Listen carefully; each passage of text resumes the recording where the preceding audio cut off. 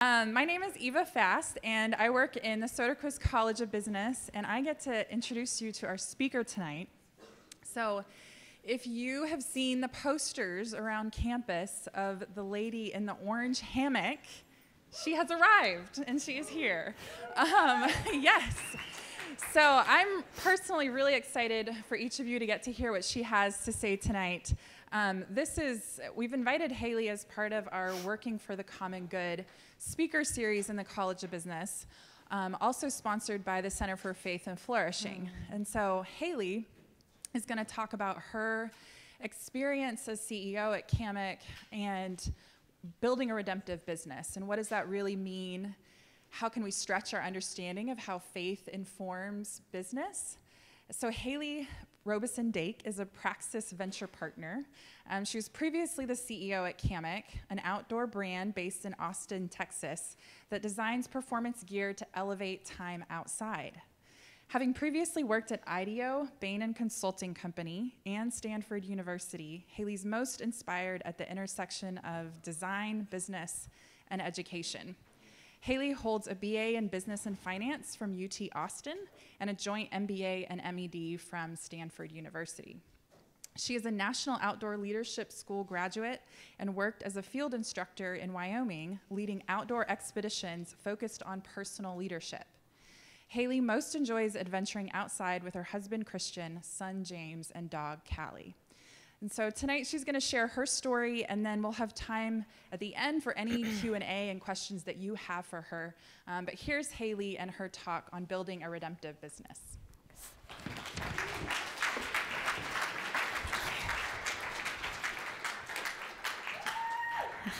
Thanks. I was just about to grab the mic, and then I realized, oh, I've got one. a, a big mic.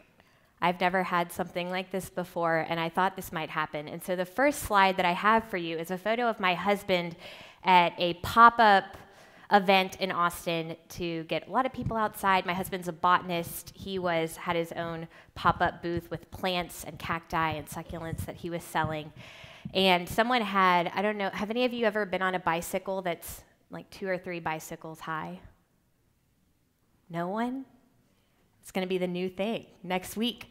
So everyone at the fair thought, I'm not getting on that bike. And my husband, uh, who we met, we got married a year and a half ago, and or a year ago. We have a six-month-old, so a lot of life change happening for me recently. But met this guy a few years ago, and he just jumps up, gets on that bike, and I had a video clip. We weren't able to get it, but he's teetering, and everyone at the event's like, "Yeah, yeah!" And then all of a sudden, he's on it, and I don't remember how he got off. But this photo always brings a smile to my face and also reminds me just do the thing, just try the thing. And so I knew coming tonight, because I watched videos of past speakers, that there was going to be this distance between me and you that normally makes me pretty uncomfortable. I like the idea of a fireside chat or an interview, but they've asked me to stand here and they're putting a very professional mic on my face. And I thought, you know what? Just do the thing. Get on the bike. Let's go. So here we go. For the next 30, 45 minutes, I'm going to give you a talk that I've never given. Uh, I want to share a bit about my life story. I'm going to park for a while at Kammock, where I spent almost five years as CEO of a small outdoor gear company in Austin, Texas. But I think it's important before we get there to build up to the journey. Because oftentimes when we hear somebody's story, we think, oh my gosh, that makes so much sense. Of course you do that. But if you look back, if you look back, it makes sense, but it often doesn't seem to make sense from the driver's seat. When you're telling your story forward, when I was sitting in your shoes, I had no idea where I'd end up. And guess what? I'm still asking the question of what do I do? And so tonight I'm going to share a little bit of my personal story, mostly professionally, and about my time at Kammock, unpacking what does it look like to strive to build a redemptive business. And then I would love your questions. At graduate school, we had a program called Talk. This was a time when over 200 students would gather in a room much smaller than this on a Wednesday night and listen to one another share their stories. I was one of five talk coaches for my two years at graduate school, and I spent about 10 hours a week coaching my fellow students from all over the world to share their stories. It was one of the most powerful things that I got to do because I think after coaching 75 of my classmates, I started to notice a few themes. Um, one, every single story tracks and reflects the ultimate narrative of the biblical story of creation, fall, redemption, and consummation. And all of our stories are shedding light on that much broader, larger narrative, even if we don't claim it and know it. That was really powerful. Also, if you speak from moments of meaning and purpose in your own life, you are likely to connect and resonate and help someone else in their journey. I think we often discredit our own stories, and I admit that I do too. And sometimes it's really hard to tell our stories when we put ourselves at the center. But if we remove ourselves from the center and put God at the center, we have a lot more freedom to share where we've been and our hopes of where we're going. Everyone shares their story for a different reason. Some people wanted to make sense of their past, overcome a fear of public speaking. And tonight, I'm sharing my story because I'm excited to just invite you into my processing of what's been happening over the last 15 years, and really to be an encouragement to you and telling my story in hopes that you will all tell each other your stories because that's a really powerful gift. This is one of my favorite, not so favorite questions. How many of you get asked this? Or when you're in school, it's not what do you do, but what are you going to do? What are you majoring in? Okay, what's next? Raise of hands. Do y'all get asked this question? Maybe not. Maybe at John Brown University, you've redeemed small talk. um, so I get asked, what do you do all the time? And I think culturally, in the broader narrative of Western society, we now place so much weight in the answer to this question. We look to this answer to somehow reflect and express who we are. And so then finding the job that will be the answer to that question can paralyze us. I know because it paralyzed me. This is, I went to undergraduate at the University of Texas, as Eva said, in Austin, where I'm now back. And there was an escalator in the business school. I don't know if any of you have been there, so now you have a photo to see exactly what it looks like. And the escalator went up three stories. And in my mind, when I was sitting in your shoes and thought, what am I going to do? I pictured an escalator and thought, I better get on the right one. Because there was a path that looked somewhat of like an up and to the right line, and I was going to get on it and end up somewhere that I didn't know when I was 30, but I was going to have arrived. I was going to have arrived at this place where I maybe was married, had kids, had a thriving career, but I just needed to get on the right escalator. And I think that um, upon reflection, that, that question was very paralyzing but now I know that I'm not getting on a right escalator, I'm just taking a next step. We're all just taking a next step because the reality is that work today is not linear, it's incredibly nonlinear. The latest research out of Stanford shows that many of you in your lifetime will have up to four careers and 20 jobs. That's a lot. You're also wired for eternity there's probably a lot in you that you would want to express through work that you won't get to express because you have to make choices. You have to choose a next job, a next thing. And so tonight, I hope to the end, through my story, to give you a bit of freedom in how do I enter into the next step in work, in vocation, and trust that God is going to be with me because there are a multitude of choices, and yet you pick one, and you will also change um, and have a number of jobs. So, where do we start? I, uh, I also am in a place where I'm figuring out what's next, and so I'm kind of preaching to the choir myself here a little bit. Um, and I think I mentioned, but two things are true. You're not going to get where you're not going, so it's helpful to have goals. But you're also likely to end up somewhere you didn't expect you would end up, right? I think 15, looking back to undergraduate 15 years from now, I had no idea that I would be on a stage at John Brown University on a Monday night at 7 o'clock. And yet here I am. And so the ways that God will write and will continue to write your story will always amaze you if you let it and you're open to miracles. One of the things that I've learned, this is the, the kids of some of the employees that worked at Kammock when we had a company picnic. And what I love about this is they are leaning in and they are, I don't know what they're chasing here, but there's this idea of movement. Where do we start? We have to start from somewhere and we, ha- we have to move forward. And so, the thing that I want to encourage you tonight through my story, and this is a very long winded opening until we get to the meat of some stuff, is to just show up. Get on the bike, do the thing, show up where you're interested. You might not have this burgeoning passion that makes so much sense to go into this job or that job, but I bet you you have some interests That's like a little bit of a lower bar because passion is built.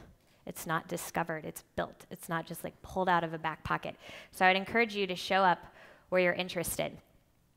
For me, when I was in your shoes, I did not know what I wanted to do. And so I did what all business school students do that don't know where they wanted to do. I decided I was going to be a consultant and work on lots of different problems. and so I applied to work at Bain and Company in the Dallas office. I moved there after undergraduate. I worked there for about a year. And I kept having this dream of I really wanted to get outside. I thought, what if we could get youth outside? And I, I just had this bubbling dream. And so a mentor of mine said, Well, I know this nonprofit in San Francisco that works with youth from at risk communities across the US and helps connect them to mentorships and summer outdoor programming. And I said, Oh my gosh, so that dream I have exists. Oftentimes it does. The things that you're thinking of, somebody else has probably thought of it too. Go find them and learn from them. So Bain had this program called an externship program where we could leave for six months of our time there to go try something new. And I said, I'm going to leave and go work at this nonprofit. So I moved to San Francisco in my Honda Passport, drove cross country, found an apartment, and this was a really transformative time for me in my early 20s, where I got to take a lot of the learning from my first job and bring it into a completely new environment where I was acting on my own to help this nonprofit figure out how to increase their capacity to serve more students. And at the same time, the showing up thing just kind of caught wind for me, and I just kept showing up. I got on city bus number 10 to go to church, saw a girl with red shoes that looked friendly, and asked her if she would be my friend. I don't know if I exactly said it like that, but um, we ended up going to the same church. And fast forward five years, I'm in her wedding, and she's the one that connected me to the theology program that I did between Bain and business school. Um, after my time at Summer Search, I wish I had the speaker notes where we could see where I'm going. Uh, so there were many things that happened in San Francisco that were just the fruits of continuing to show up even when I was comfortable, uncomfortable or didn't know what the future held. That was a really great experience for me connecting with youth whose time outdoors had really helped shape and give promise to their future. I remember a student named Anthony told me I stopped messing around when I had something to look forward to. And I thought there's so much power in that, and there's something about the outdoor experience that aids this transformation. And so I stayed interested. Uh, I went back to Bain, worked for about another year and a half, and I got this wild hair that I was going to spend my savings to go spend 89 nights in the wilderness because if I wanted to pursue a career, maybe outdoors, maybe not, I didn't know, it might be helpful to have actually spent some time outside. I grew up in Virginia. I spent a lot of time on dirt bikes and in ditches catching tadpoles. I think my family went on a motorhome trip, um, but I'd never really camped or done anything outdoorsy. And I thought, I'm just going to see what that's like. I want to figure this out for myself. Um, my parents didn't think that it was that useful of an endeavor. Maybe they thought it was useful, but maybe an expensive, useful one. And so my dad uh, advised me that I could live in their backyard for free as a way of discouraging me from going to Wyoming. But I said, no, I'm going to do this. Uh, leaving Bain, I wrote my farewell email to the company, and it was probably one of the strangest emails that people had ever gotten that I was trading my hotel points for a campsite. And a girl wearing blue jeans and not so warm of a fleece jacket from Texas showed up in Wyoming. Uh, this is my crew, February of 2011, embarking on 89 nights outdoors, the first 12 nights which were going to be spent in the Bridger Teton National Forest in avalanche conditions. Um, I may or may not have cried in the tent that night, um, but this is a quote that I have since come to embrace. Uh, to be good at something, you must first risk being a fool, or said another way, every expert begins an amateur. None of us know what we're doing when we start. And I think it's only fair to acknowledge that. So after I spent 12 nights in the winter um, learning how to snow camp and avalanche rescue techniques, we went on a canoe trip. this canoe trip, our canoes held 400 pounds, a portable toilet, enough food and gear for 16 days on Green River between Vernal, Utah and Green River, Utah when we got there, because it was March of 2011, there had been a, atypical freeze that year, and so we embarked our trip on a frozen river. The first day on that course, I fell through the ice, and that is a story for another day. Uh, but fast forward 10 days, and this is Jen. Jen and I are leaders of the day of a crew of 16, eight tandem canoes, which meant I was responsible for getting our group from point A to point B over about eight to 10 hours. My goal was for the people to get there safely and for us to arrive at the X on the map that I had very strategically placed the night before. We were going to cross about 10 rapids that day, and the day ended up being pretty gnarly uh, because I don't know how many of you are into water sports, kayaking, canoeing. Canoeing and rapids don't really go together. Uh, but that's what we were doing because NOLS is all about forging the more challenging path.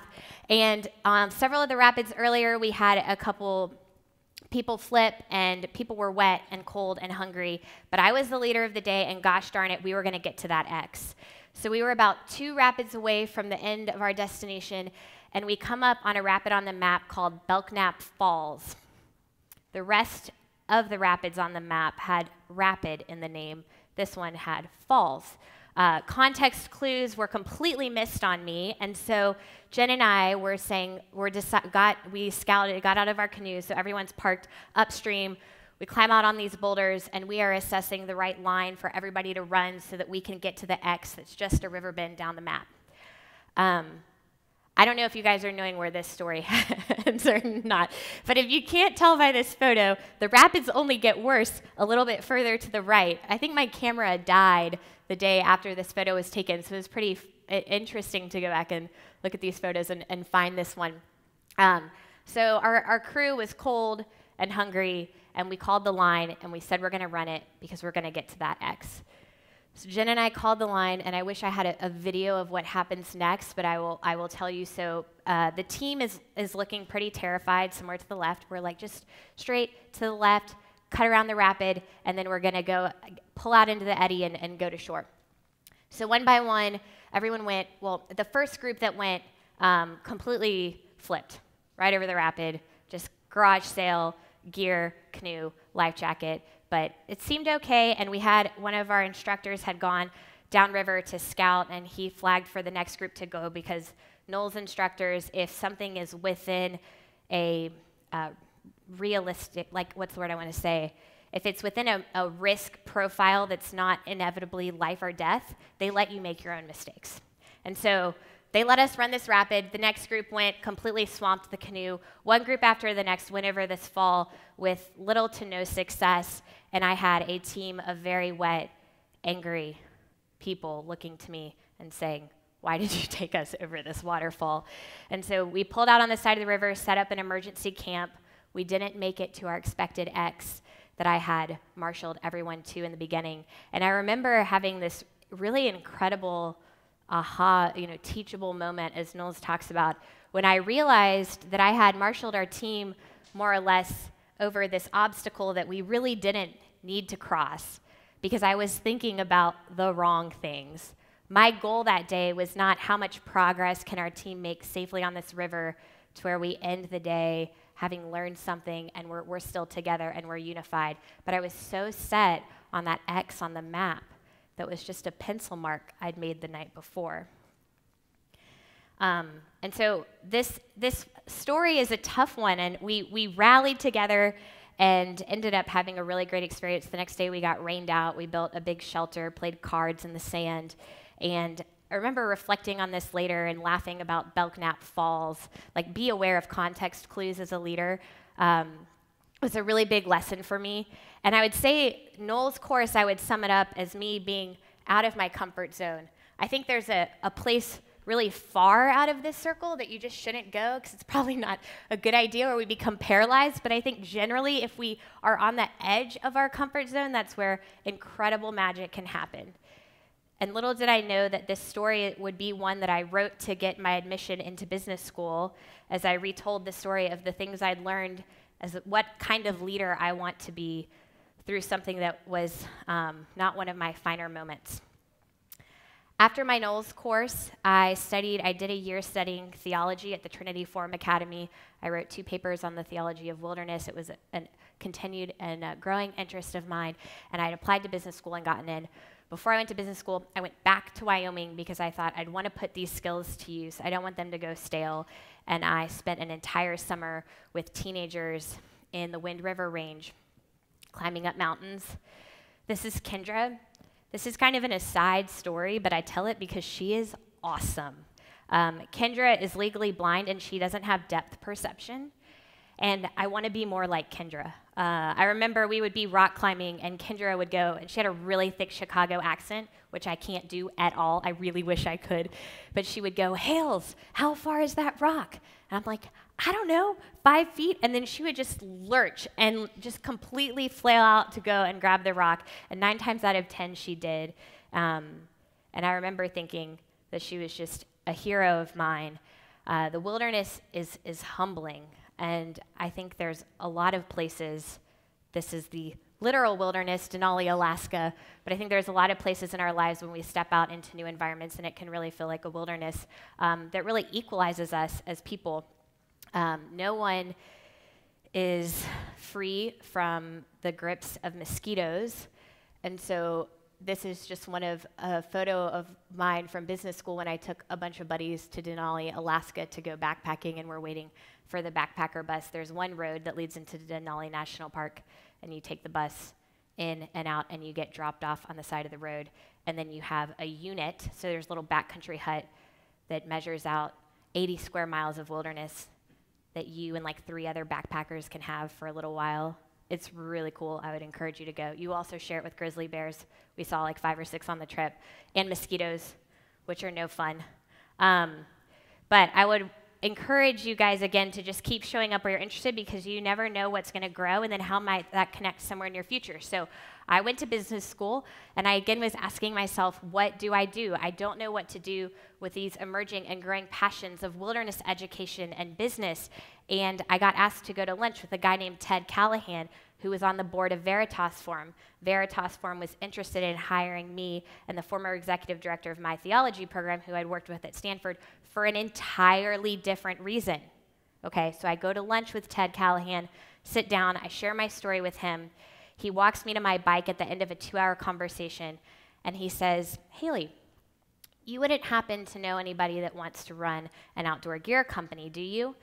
And I think probably two weeks prior in my apartment, I had written a set of note cards of things that I might want to do when I grow up. An outdoor gear company was on the short list. And as I'm clipping my helmet on Ramona Street, someone asks, Hey, do you know anybody that might be interested? And so I knew he was talking about me, and so I kind of joked and said, Yes, I might know somebody. Um, and this was where we met on Ramona Street again, I was meeting him for coffee for an entirely unrelated reason, something that also interested me. And then he said, How about you meet Greg? So, Dallas, I was in Dallas between the Christmas and New Year's of 2014. Greg is the founder of Kammock. He started Kammock in 2011.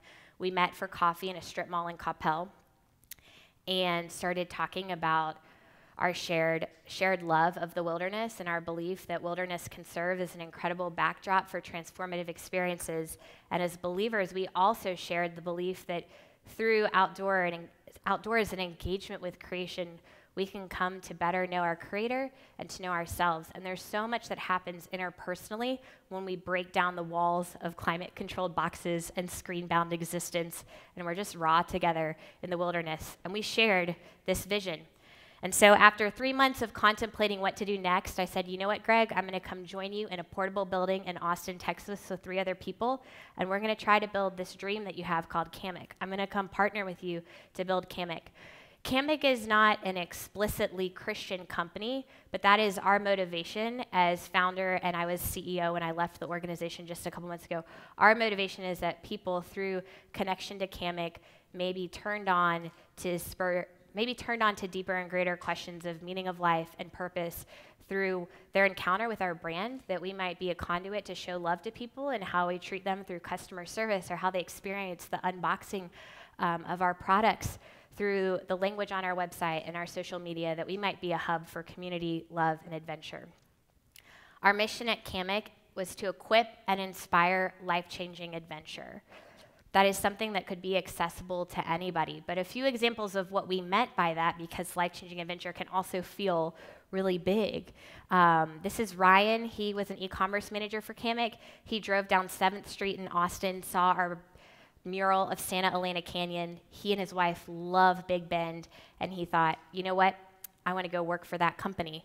And so he applied. He met a girl at a, they were at a brewery that worked at Kammock, and he got in her face and he said, Okay, this is why I want to work at Kammock, and here's all the reasons I'm great for the job. And so then he got 30 minutes of my time and sat down and had intentionally and thoughtfully prepared questions and reasons. And so you know what? We ended up hiring him, and he was an awesome teammate. And he and his wife went on to write one of the first ever hiking books to Big Bend. So his life changing adventure was showing up where he thought he could add value and wanted to serve. This is again Denali, Alaska. Um, my aunt and mom are these two right here. Uh, I took them on their first ever overnight camping trip to Denali. They had no idea what they were getting into. Um, and after two nights of that trip, my aunt said, I am a more confident person. And at 50 years of age, that was incredibly inspiring to me. This is our customer, Adam. This is a lot of Kammock gear. We have our tent in the photo and our sleeping bag. And he likes to read stories to his children outside at night, and I would say that that qualifies for life changing adventure. At Kammock, this is our brand symbol. Many people don't know this, but this is the symbol of the red female kangaroo. Greg was inspired by the female kangaroo as being incredibly brazen in the harsh conditions of the Australian outback, where she's very nurturing and protective of her young, but also travels in a pack, in a community. And we thought, you know what? This is really emblematic of the kind of brand that we want to build. The company was started on Kickstarter in 2011 with the first ever outdoor brand to launch on Kickstarter.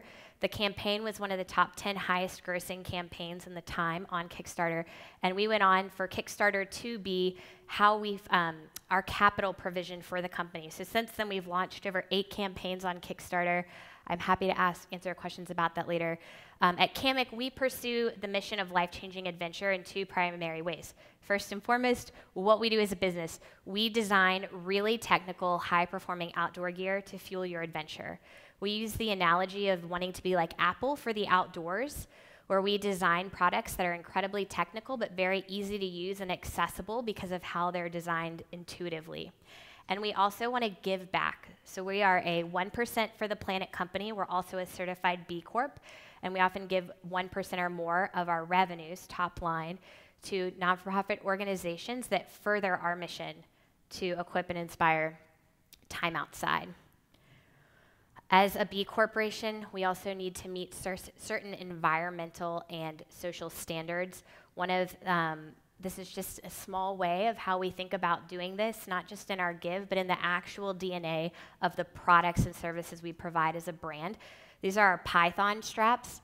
I noticed today when I was pulling in in front of the business school, there were a lot of hammocks out, which made me excited. And I don't know if you're in the room tonight, but there was one of you that there was a really high strung, I think it was a single room hammock, and you were trying to get in Batman style. Is that anyone in here? Because that would be awesome. But I watched you from afar. The, the hammock was really high, and it took you a couple tries, but that person looked like they were having a lot of fun. Anyways, um, this is the tubular webbing Python strap, so the way that we design the webbing to be not static webbing, but to be multidimensional, so it rolls when you're tightening it to a tree and doesn't damage the cambium or the bark of the tree, which is the reason a lot of hammocks have been banned from public parks. Uh, with our 1% for the planet donation, we sponsor a local organization called Explore Austin. Explore Austin is a six year program for students in their sixth grade year of school where they join a 20 person student team and adventure together for six years in community every summer. And every Saturday throughout the school year, they're meeting for different challenges and leadership development skill sets. Leadership development and skill acquisition. So, this is the girls' team that we sponsored. We started sponsoring them in sixth grade, and we'll continue to sponsor them through their senior year their first summer, they do a pretty low key, I think, car camping trip. And by the time they're seniors, they are forging their own adventures through the Wyoming wilderness where they're leading their peers on a six day overnight adventure. And the amount of confidence and self efficacy that's built through these experiences for these students is really incredible. Uh, we have this saying at Kammock that big adventures start small. I realize that this give is very high resource, but it's also really high impact. And we believe that small seeds and small change can truly change the world. Um, who knows which one of these girls could go on to be a leader in environmental regulation or in experiential programming for an entire community. This is Perla. She's one of the students that is part of the uh, student team that we support, and we've her interviews up on our website. But she has this really great quote that I love, and she said, Growth is what's fueled when there's more required of you than you think you can give. And I love that Explore Austin has been that experience for her. This is our supplier in China. So I'm just doing a quick overview of Kammock. We manufacture overseas. We design in-house. We have sewing machines in our office. We do product design in-house, but we manufacture overseas, and then we sell omni-channel online on our website through Amazon and also to retail wholesalers such as REI, which is the nation's largest outdoor specialty shop, and then Mountain Equipment Canada, Mountain Equipment Co-op in Canada. And we also have international presence in Disney, Japan and over in the UK. This is our supplier team. They're outside of Shanghai. We've partnered with them since the beginning and developed really special relationships with them. We went from hammocks, started out in hammocks, but the vision was not to end at hammocks. The hammock market, I don't know if you are aware because you follow outdoor industry trends, but the hammock market exploded in 2015 and then has been on a little bit of a a drastic decline ever since. And so we kind of caught the end of that wave as a premium brand, but we're still trying to figure out how to get out of hammocks being the bread and butter to service really the broader mission of outdoor adventure through all types of gear. So we made sleeping bags. They won Outdoor Magazine's Gear of the Year. And just this past summer, we've launched into packs. The plan going forward is to really streamline. We're going to still continue to innovate, but stick with the core offering of products so we can really work on driving profitability and getting the business to a more sustainable level.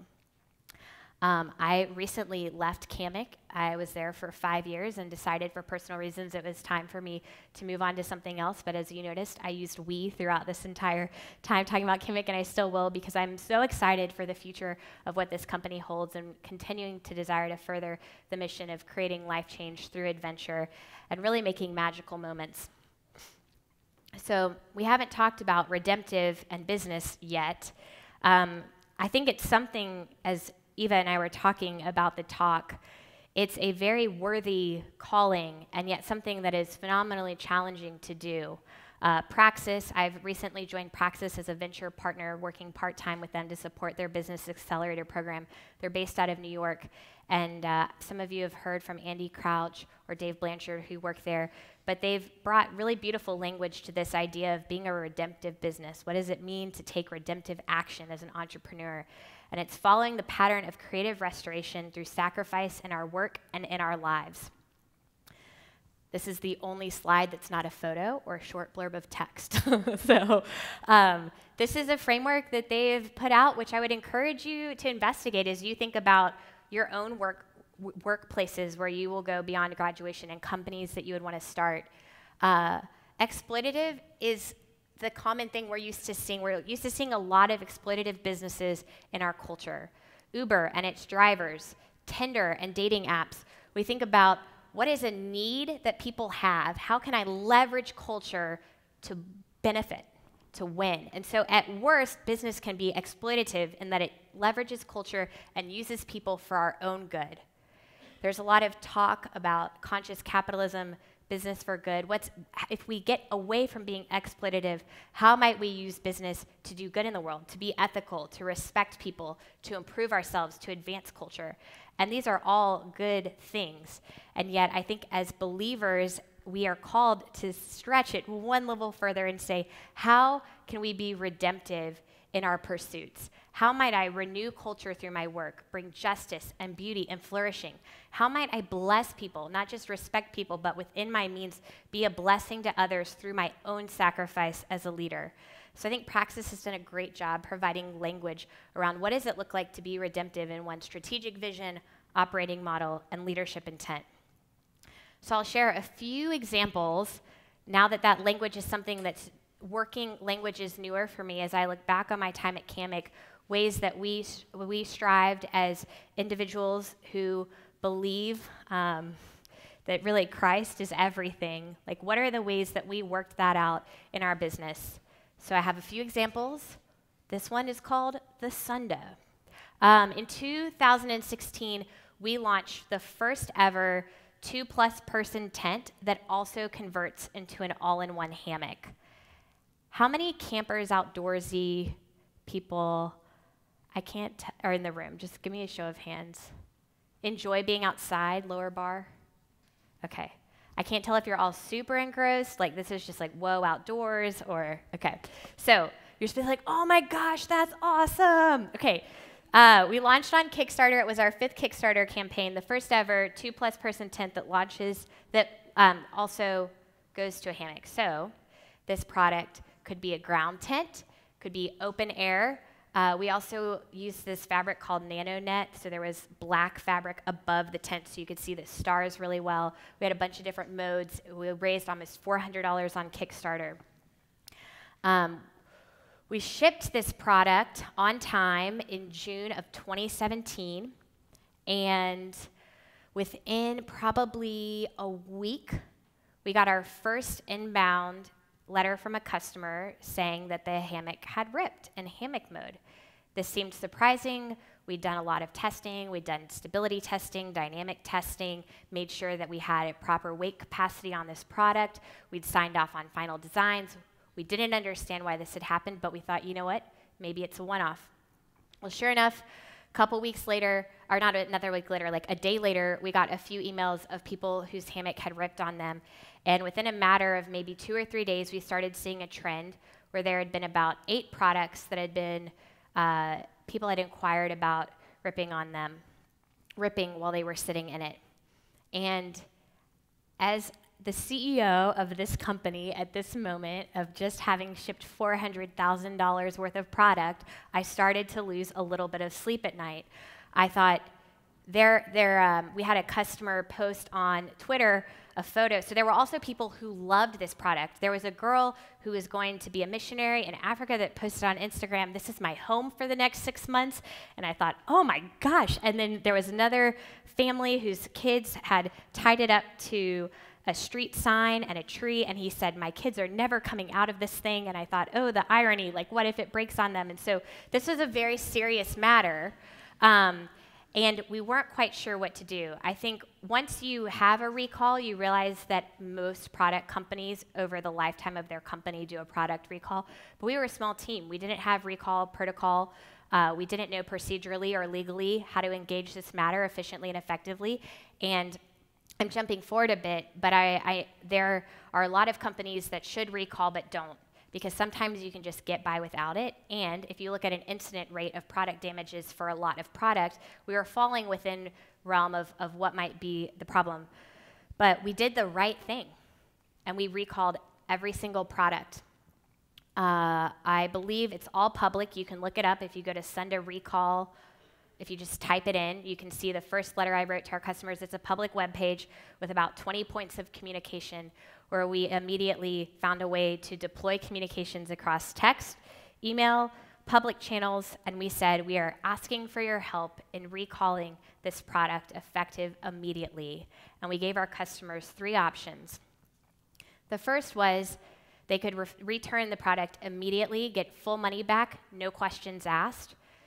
Uh, this, I forget what the second option was. It was some kind of graduated interim between A and C. And C was that you would keep the tent, that you would mail back the body, the part that we had identified on ripping. Also, how am I doing on time? I know I have 45 minutes. Oh, okay. I should go faster. Okay, so um, what's like a hard stop?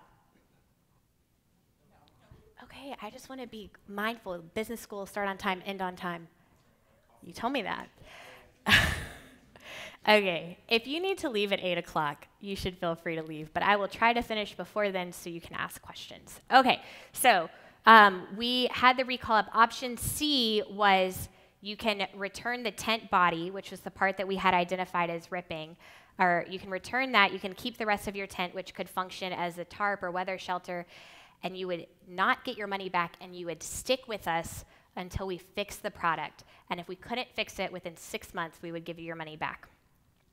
I went to, gosh, I went to bed that night, probably didn't sleep because if the vast majority of customers had chosen A, we would have been out of business. I think we had $200,000 at the, at, in the bank at the time, and so this could have been a catastrophic mistake.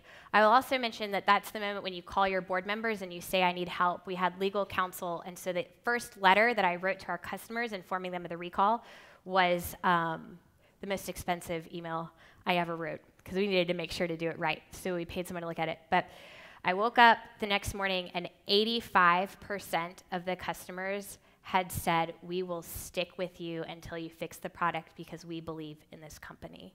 And I will tell you, that was a huge sigh of relief. And there were people saying, This is a company that did the recall right. Did we bless people through this? No. But within our means, did we try as best we could to do the right thing to provide recourse and to invite our customers into a problem so they could feel like they were solving it with us? Yes.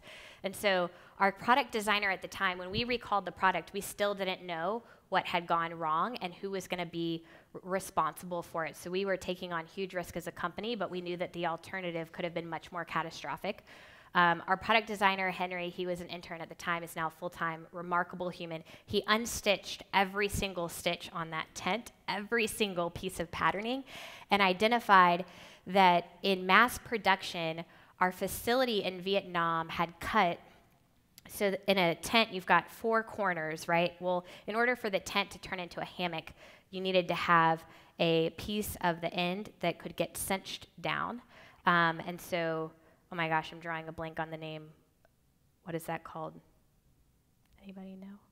Like a like yeah, essentially webbing, draw cord, but it was a sewn channel. That's I'll just call it sewn channel um, that you could draw down on. And so at the corner at the at the um, corner of the body of the tent, in mass production for tents that don't have to hold people in suspension, this is common practice in mass production to snip a tiny bit so that when the corners of the fabric are folded over and bar tack stitched, it's a much cleaner edge. Well, how would we have known that? Um, I think this is sometimes the cost of innovation is you're doing something new that hasn't been done before, and sometimes you don't know what to ask. But we realized that the factory had cut this tiny, tiny, less than eighth of an inch inseam in the corner of the tent that created a weak point so that when people sat on it in just the right way, it would rip open. Um, I would say I don't know if our suppliers are believers uh, or not, but they absolutely did the right thing. They did not need to bear the cost of fixing all of this product. We were a new customer for them, we were a smaller customer for them, and they could have just written us off. And over international waters, we didn't exactly have legal negotiating power, but we asked them, we invited them into the process, and they repaired every single one of these tents for us to return to our customers. So, from this experience, I learned that people can handle bad news, they can't handle bad behavior. Um, I think this is pretty basic, but for me, was a really big insight. A lot of times, we're afraid to deliver bad news to people we love, to people on our team, to people that work for us. But it's oftentimes how we deliver that bad news and how we enter into difficult situations that really make up the difference and um, mark everything. I think our team was greatly impacted by this experience because there was a sense of pride of yes, we do the right thing, we stand by our customers, and we fix things that aren't working. Um, I also learned that as a leader, you can make mistakes. People don't expect you to be perfect, but they do expect you to be consistent. Culture. This is our office. We got, so I mentioned moved to Kammock, worked in a portable building. We moved into this space in July of 2016. I've been camping in Arkansas in July, so I know it's hot. In Texas, it's extra hot, a little less humid, so pick your poison. But we moved into this office space. Um, this is what it looked like when we moved in. And one of the things that I've always told my team and that I believe is that if you're a part of something and you own the thing, like if you're working at the company, you can't expect anybody else to be more excited or to champion the thing you're doing more than the people in that office. And so I what has always been a huge motivation for me is the people that I work with day in and day out being ambassadors and champions of the brand that we are building and doing so in a humble way. Um, everyone who works at a small company is a walking billboard of that brand, and environment matters. How we shape the cultures and the physical spaces that we're a part of really matter.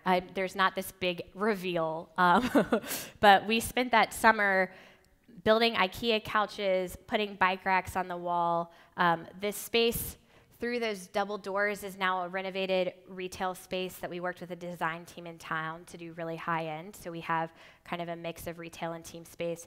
But a few remarks on our cultures and ways that we've sought to bless people. Um, I did a survey to understand how the people on my team work best and what hours of the days that is. Most people find that they're most energetic and get their best work done between 10 and 2. And so we had flex hours. You were expected to be in the office between 9 and 3 and do our best work in person together. And then you could get your other work done when and where you wanted. It didn't matter. Um, we have quarterly team adventure days where we would get out of the office and adventuring. This is us on the Guadalupe River, uh, getting outside together and actually putting into practice the things that we preached as a business. Um, another thing that I will mention briefly on culture is that as a leader and in business, you have to fight for unity. You have to really fight for your culture.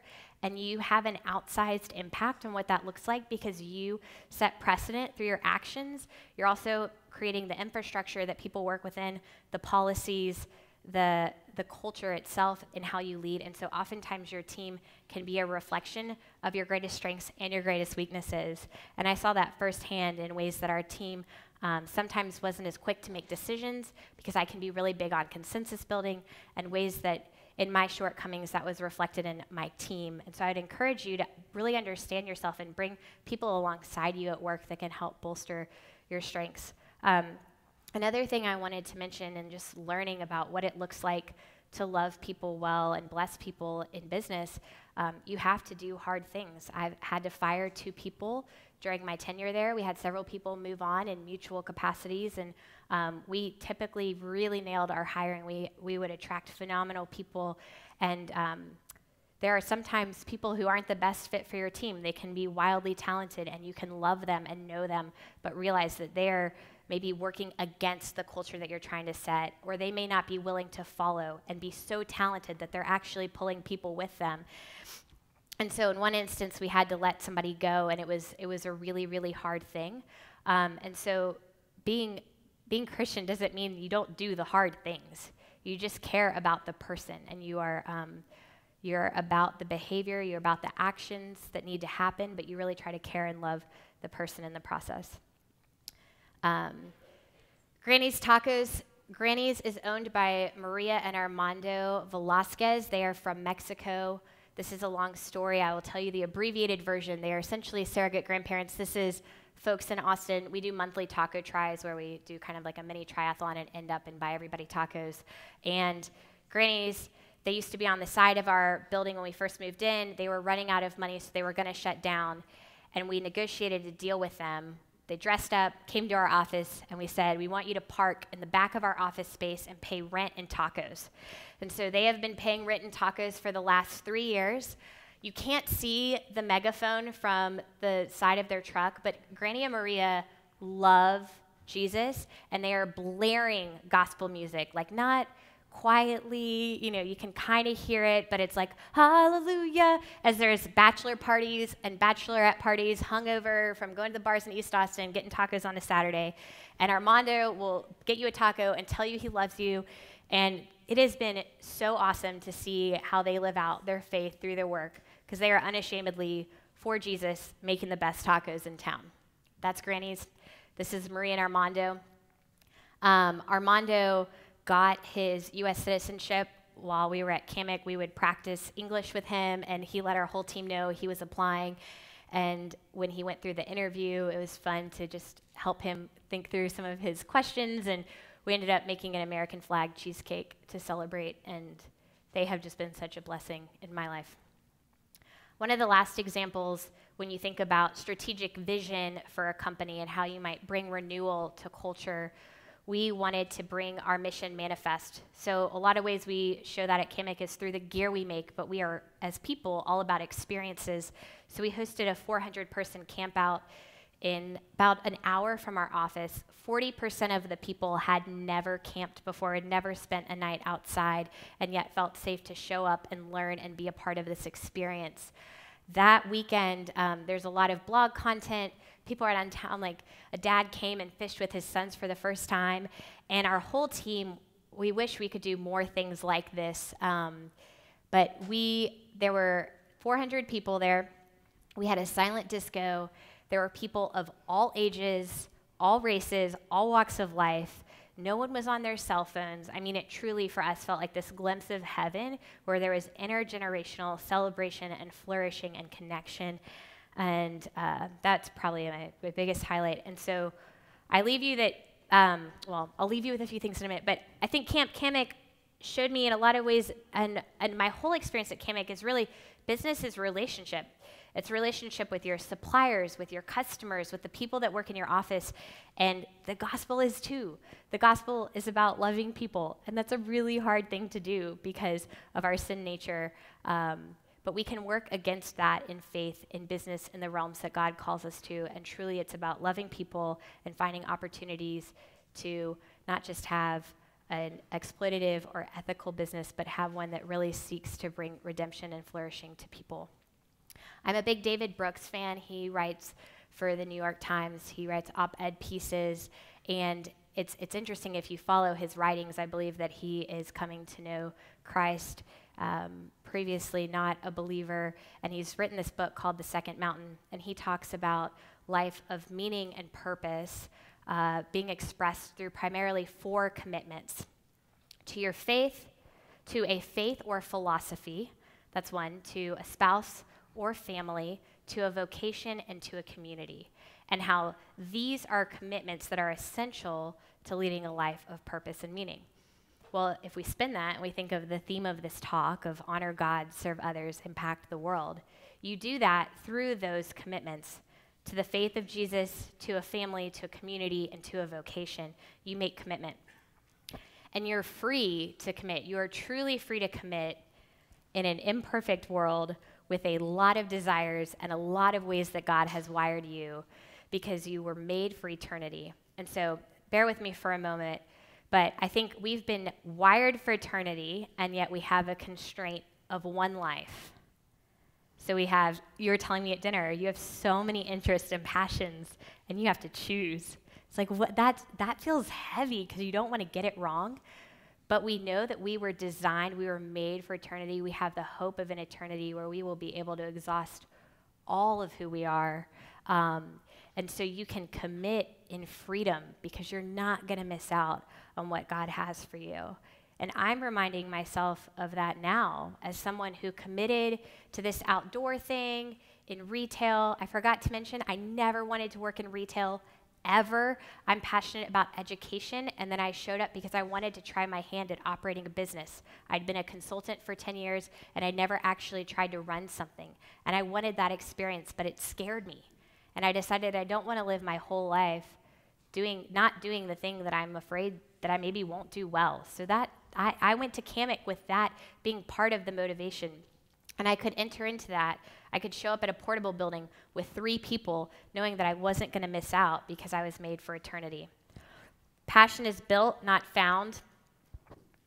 Finding your passion is pretty terrible advice because if you were like me in college, I was like, I think I like a lot of things, but I don't know what my passion is. And so just show up because passion is cultivated. It's like C.S. Lewis writes about that crusty gardener neighbor that isn't really nice, but then you grow affection for that person because you see them every day and you spend time with them. Passion grows through action. So do the work, trust God with the outcomes. Um, in all work, we can work against the effects of the fall. I'm going quickly. Uh, this is Whitney. She interned at Kammock. I love this face because she looks somewhat terrified, but also like she's going to have a really good time.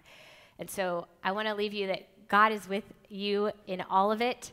Um, he's been with me in all of it, and I'm trusting that He is going to be with me going forward as I discern what's next for my career. And I would encourage you to be like Whitney, whether it's this summer or in a course at school, or as you think about that next season of jumping out into the workforce. Go where you're interested, lower the bar, start with a small dream, with an interest, and show up and keep showing up even when you're afraid. And the Lord is at work, and He is going to do amazing things. Thank you.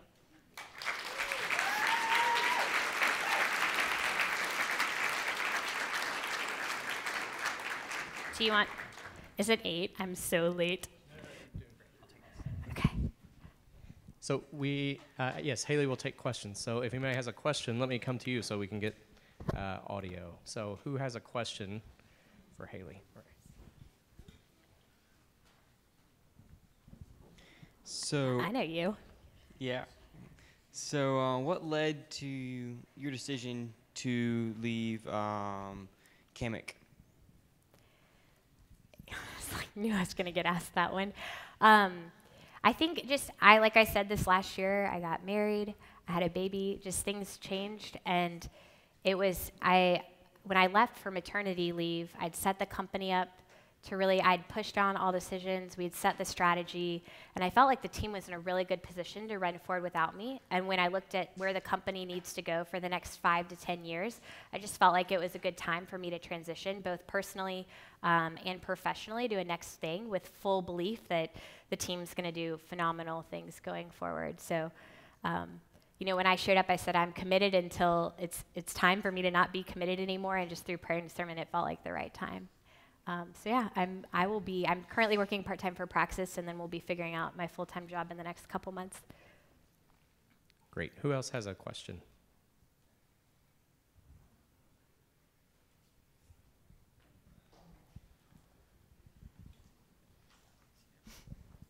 Um, so you mentioned something, um, renewal of culture, and you said it several times, um, and you said that it was really important to you when running Kammock. A stricter definition would be beautiful, but more, how did you attain that, and how did you work towards that um, intentionally on a day-to-day basis? Yeah, I, I hope a few of these examples illustrated that. I think there's there's a few good books I could point you to. Andy Crouch writes Culture Making, but this idea that the material realm, what we're in in the here and now, is of worth and is of value. And yet, because we live in a broken world, like how do we build towards renewal to the way things should be, to build flourishing and beauty and justice? Um, and so that is something to almost both strive for and surrender to in your work, but look at what are some of the ways that that our culture, like what are some of the waters we're swimming in that we may not even realize we're swimming in? I think one at Campbell example from Kammock was we live in a hyper technologically connected world where people are no longer having face to face conversations. And so, as a brand, and we also live in a world where Amazon's trying to get all of us to believe that brand doesn't matter, but the Amazon brand is winning. And so, does brand still have meaning? Can we, as business leaders, imbue meaning into our product by saying, here's a hammock so that you can go string it up and have a conversation with a friend where you're listening to each other? How can it lead to cultural renewal to have people actually looking up versus looking down? And to go on a hike with their family or to do something and connect in a way that brings flourishing and connectivity in a culture that's kind of pushing away from that as the norm. So I think you have to look at what it, what does the a lot of cultural renewal comes from imagination and praying for the spirit to show you imagination for the way that things could be and then to humbly work towards that knowing that you fail and come short all the time. Um, and then on a day to day basis, I think I tried to just really care for and, and love our team. Um, how do you know when you're ready to move on? Ooh, great question. When you start thinking about it, when you, when you start thinking about moving on, I think two things are true. One is maybe you're not appreciating what you have. I think we can believe the lie that the grass is greener somewhere else.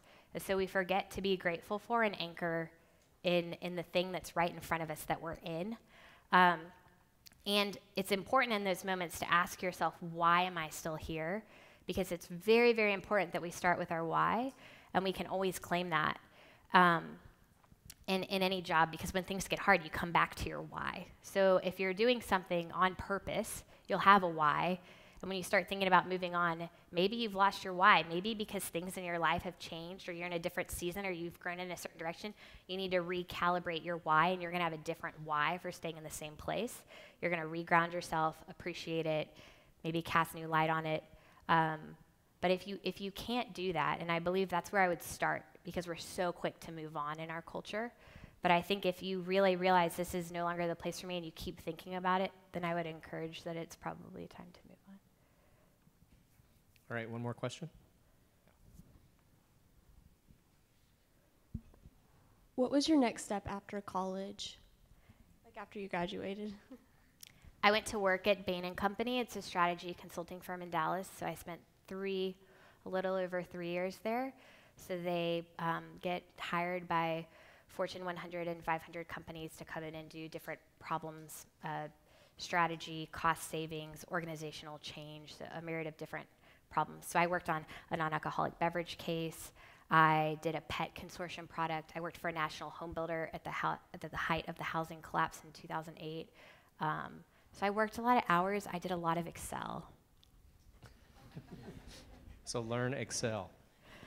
L- You can learn it on the job. That's what I did at No, 3 you learn a.m. it in in college. Haley. All right, the uh, learn it in spreadsheets. Haley, thank you so much for the whole talk, but thank you especially for reminding us that we don't have to have it all figured out. Even if we're graduating in May, we don't have to have it all figured out. We can show up, all right? Yes. all right, thank you. Everybody help me thank Haley for being here this year. Thank you all for being here. Thank you.